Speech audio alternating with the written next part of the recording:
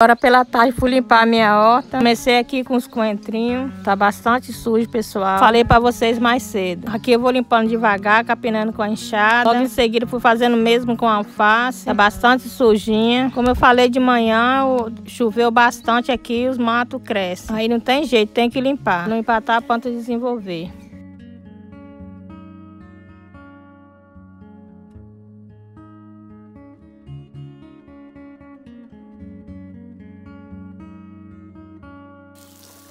Depois eu vim molhando.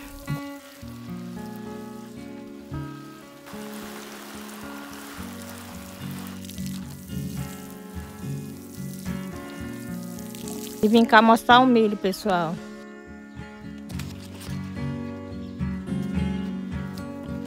Eu decidi tirar um para me ver como é que tá. Lógico que eu ia mostrar para vocês. Tá quase bom, pessoal.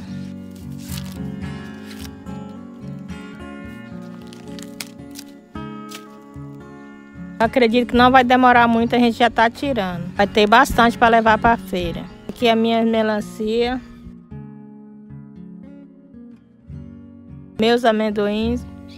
Que era o final do dia. Espero que vocês tenham gostado. Fica todos com Deus e até o próximo vídeo.